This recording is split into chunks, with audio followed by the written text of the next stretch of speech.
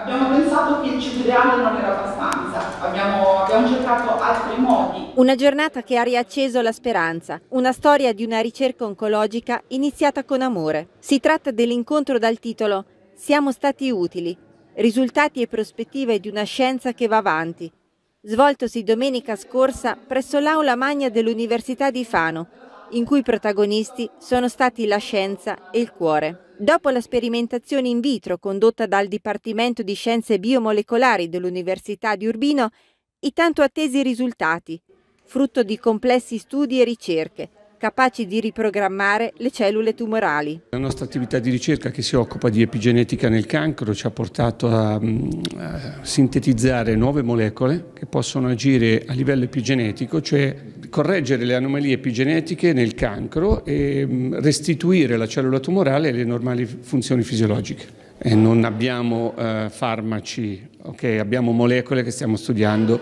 nella ricerca di base. Abbiamo speranze per il futuro di combattere questa malattia? In linea generale sì, eh, la nostra attività non è l'ultima né la prima che si occupa di questo tipo di problematiche in Italia e al mondo, ci sono tanti progetti del genere.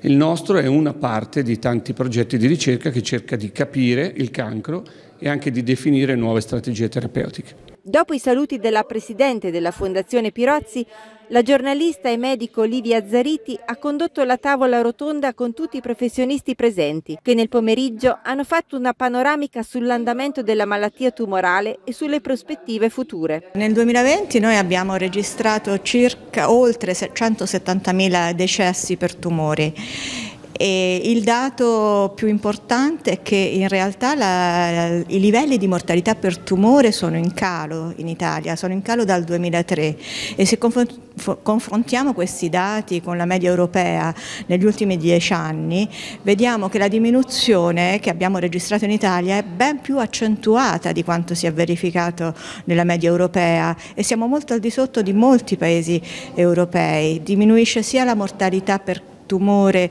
definita trattabile sia quella definita prevenibile. Permangono delle differenze territoriali molto ampie eh, con livelli molto più elevati nel nord rispetto, rispetto al sud.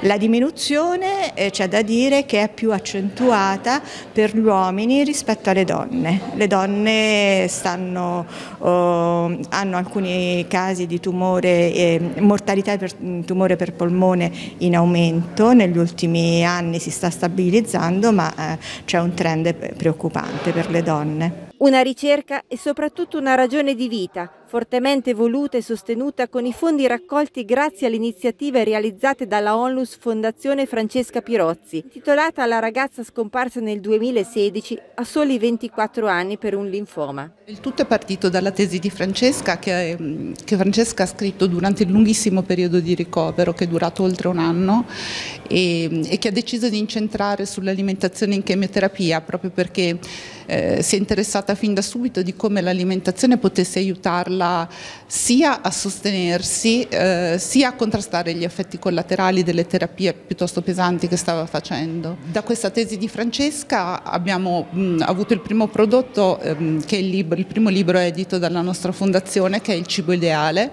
un altro libro sempre edito dalla fondazione Pirozzi che parliamo di cibo, i pixel, i pixel che sono tratti dall'immagine di copertina del, disegnata dall'artista Vito Nucci, immagine che appunto è stata scomposta in tantissimi pixel, ognuno acquistabile al prezzo di un euro, di modo che chi vuole contribuire anche in piccola parte può farlo esatto, acquistando semplicemente un pixel.